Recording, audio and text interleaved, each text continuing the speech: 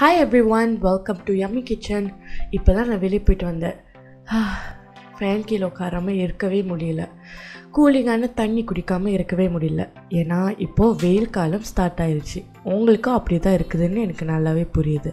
So எங்களோட favourite ரிஃப்ரெஷரை தான் நான் இன்றைக்கி உங்களோட ஷேர் பண்ண போகிறேன் அந்த ரிஃப்ரெஷரோட பேர் நன்னாரி லெமனி சரி வாங்க. முதல்ல தேவையான பொருட்களை பார்க்கலாம்.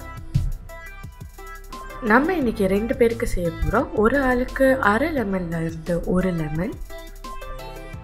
Chia seeds chia seeds பெனிஃபிட்ஸ்னு நீங்கள் கூகுளில் டைப் பண்ணி பார்த்தீங்கன்னா ஒரு பெரிய லிஸ்ட்டே வரும். அவ்வளோ நல்லது இது உடம்புக்கு. நன்னாரி சீரப் முதல்ல சியா சீட்ஸை நீங்கள் தண்ணியில் ஒரு பத்து நிமிஷம் ஊற வச்சுக்கிறேங்க அடுத்து எவ்வளோ பேருக்கு இந்த லெமனேட்டை பண்ணுறீங்களோ அதுக்கு தேவையான லெமனை ஒரு கப்பில் புழிஞ்சு வச்சுக்கிறோங்க. நீங்கள் ஒரு லெமன் ஸ்குவீசர் அப்படி இல்லைன்னா ஒரு ஃப்ரூட் ஜூஸை யூஸ் பண்ணிங்கன்னா அந்த சீட்ஸ்லாம் இல்லாமல் அப்படியே ஜூஸ் மட்டும் ஒரு கப்பில் வந்துடும் அடுத்து தேவையான அளவு சீரப்பை அதே கப்பில் ஆட் பண்ணிக்கிறீங்க. கொஞ்சம் கொஞ்சமாகவே ஆட் பண்ணிட்டு அதுக்கப்புறம் டேஸ்ட் பார்த்துட்டு திரும்ப கூட நீங்கள் கடைசியில் ஆட் பண்ணிக்கலாம். எப்பயுமே லெமினேட் பண்ணும்போது அந்த சுகர் அளவோ சரி அந்த தண்ணி அளவோ சரி ஒவ்வொரு ஆளை பொறுத்தது தான் ஏன்னா சில பேருக்கு கொஞ்சம் இனிப்பு அதிகமாக இருந்தால் பிடிக்கும். சில பேருக்கு அந்த லெமனோட புளிப்பு அதிகமாக இருந்தால் பிடிக்கும்.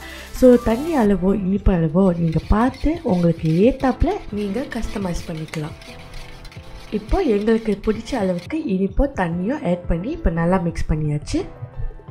தண்ணி நம்ம கொஞ்சம் கம்மியாகவே ஆட் பண்ணிக்கலாம். ஆரம்பத்தில் ஒரு முக்கால் கப் வர அளவுக்கு ஆட் பண்ணிக்கலாம். ஏன்னா சியா சீட்ஸை ஆட் பண்ணிட்டோன்னா அதை ஊற வச்ச தண்ணி இருக்குது இல்லையா? அதுவே நம்ம கப்பை நிறைச்சிரும். இப்போ எல்லாத்தையும் நல்லா மிக்ஸ் பண்ணிக்கலாம். ஐஸ் க்யூப்ஸை ஆட் பண்ணிக்கிறேங்க. ஐஸ் கியூப்ஸ் ஆட் பண்ணிட்டு கொஞ்சம் நேரம் ரீஃப்ரிஜரேட்டரில் வச்சு எடுத்தால் நன்னாரி லெமனே ரெடி இதை கண்டிப்பாக நீங்களும் வீட்டில் ட்ரை பண்ணிவிட்டு எப்படி இருந்துச்சுன்னு கீழே உள்ள கமெண்ட் பாக்ஸில் போடுங்க. நான் உங்களை வேற ஒரு டிஷ்ஷோட திரும்பவும் சந்திக்கிறேன்.